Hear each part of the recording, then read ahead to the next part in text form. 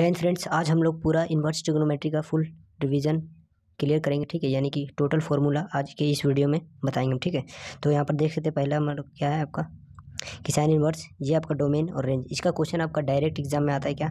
What is the domain of sine inverse x तो आपका ये हो जाएगा what is the range range को क्या प्रिंसिपल वैल्यू भी कहा जाता है, ठीक है? तो चलिए देखते हैं यहाँ पर साइन इन्वर्स एक्स का डोमेन क्या है? माइनस वन से प्लस वन और रेंज क्या आपका? माइनस पाई बाई टू से plus pi by two cos inverse x का माइनस वन से प्लस वन और ज़ीरो से पाई। टेन इनवर्स एक्स का आर। आर मतलब बोलिएगा क्या होता है? तो आर मतलब होता है माइनस इन्फिनिटी से प्लस इन्फिनिटी, ठीक है? माइनस इन्फिनिटी से प्लस इन्फिनिटी मीन्स क्या होगी? इसमें ऑल नंबर्स आ जाता है आपका, ठीक है? यानी कि निगेटिव, पॉजिटिव सब। और इसका क्या? Minus infinity minus five two से plus five two. Cot inverse x का भी रेंज, इसका भी क्या हो जाएगा? माइनस इन्फिनिटी से प्लस इन्फिनिटी। ज़ीरो से पाई तक इसका रेंज, इसका कोशेक का डोमेन आर माइनस वन और प्लस वन नहीं होगा, ठीक है? आर होगा लेकिन ये नहीं होगा। इसमें माइनस फाइव टू से प्लस फाइव टू होगा लेकिन ज़ीरो नहीं होगा इसमें, ठीक है?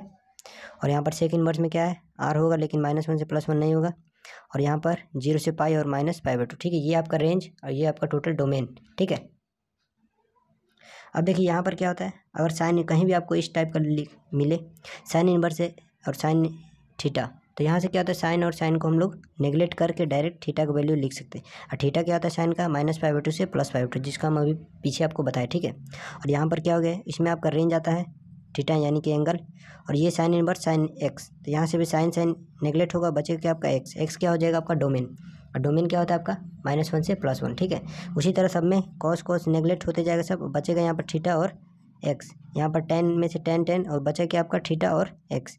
उसी तरह से कॉट में थीटा और एक्स बचेगा, ठीक है? सबका आप लोग डोमेन रेंज हम पीछे बता दिए, आप लोग मिला लीजिएगा वहाँ से, ठीक है? सेक सेक में भी आपका क्या? थीटा और एक्स बचेगा, थीटा और एक्स। यानी कि सब आपका नेगलेक्ट हो, एक इन्वर्स और एक इन्वर्स में नहीं रहेगा।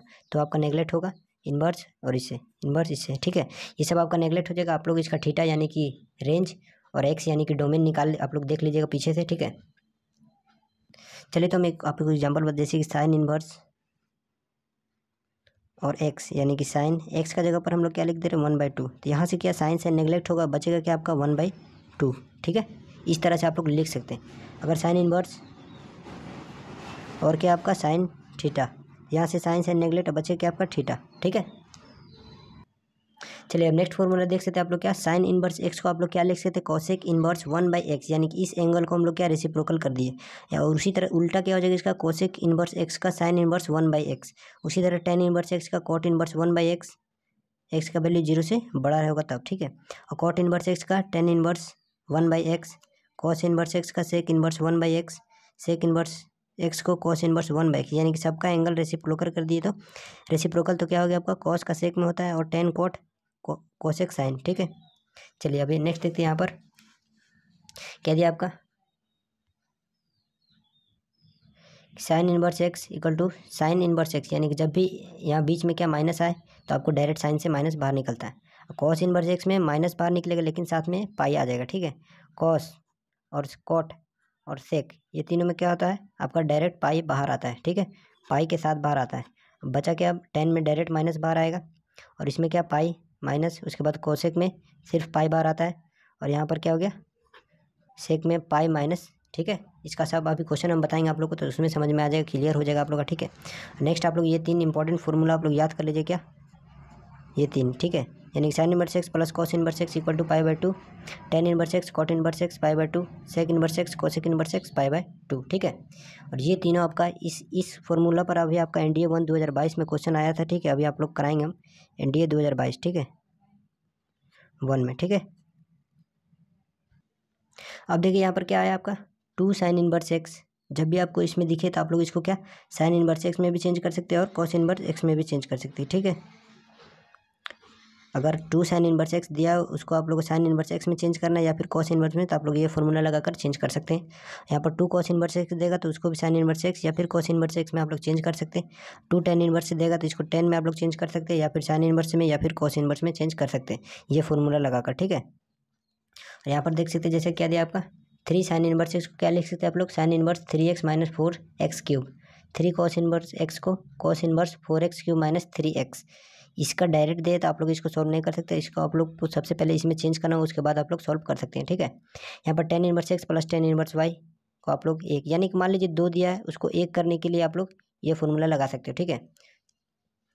Tan inverse x plus tan inverse y अब यहाँ पर क्या दिया आपका? Tan inverse x plus tan inverse y यहाँ पर क्या वन एक्स वाई जब आप लोग मल्टीप्लाई करिएगा, अगर वन से छोटा आएगा तो ये फॉर्मूला लगाना है। अगर वन से बड़ा आएगा तो ये फॉर्मूला लगानी ये फॉर्मूला में क्या करना आपको? सिर्फ़ पाई प्लस कर देना, ठीक है?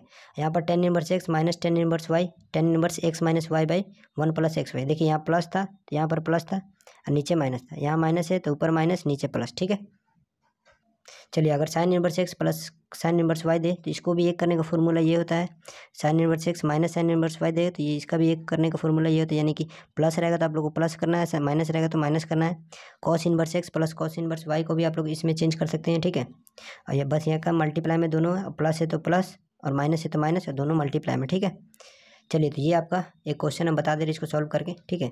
ये आपका पीछे वाला फॉर्मूला से मिलता है, ठीक है? यानी कि four sine inverse x plus cos inverse x equal to pi four sine inverse x को हम लोग क्या लिख सकते हैं? Three sine inverse x plus sine inverse x ठीक है? फोर था तो थ्री और वन यानी कि फोर हो जाएगा plus cos inverse x equal to pi अभी हम आपको पीछे फॉर्मूला में क्या बताया? Sine inverse x plus cos inverse x equal to pi by two तो इसका जगह पर हम लोग क्या लिख देंगे? पाई बाई टू और ये बचा क्या आपका? Three sine inverse x equal to pi अब थ्री साइन इनवर्स एक्स क्या हो जाएगा आपका? Equal to pi minus pi by two ठीक है? इसको सॉल्व करेगा तो पाई बाई टू आएगा। थ्री को नीचे करेगा तो sine inverse x equal to pi by six ठीक है? अब यहाँ से क्या पूछा आपका? एक्स का वैल्यू एक्स को निकालने के लिए साइन उधर जाता है तो इन्वर्स हट जाता है, ठीक है? तो एक्स इक्वल टू क्या हो जाएगा आपका? साइन पाई बाई सिक्स और साइन पाई बाई सिक्स का मतलब साइन थर्टी साइन थर्टी का वैल्यू क्या इतना होता? है वन बाई टू तो इसका राइट आंसर क्या आ जाएगा? ऑप्शन नंबर ए ठीक है? और ये आपका एन डी ए वन दो हज़ार बाईस का क्वेश्चन है, ठीक है? सेम उसी कॉन्सेप्ट पे आप लोग इस आंसर को, इस क्वेश्चन को कमेंट करके हम लोग को बताइए आंसर की क्या होगा, ठीक है?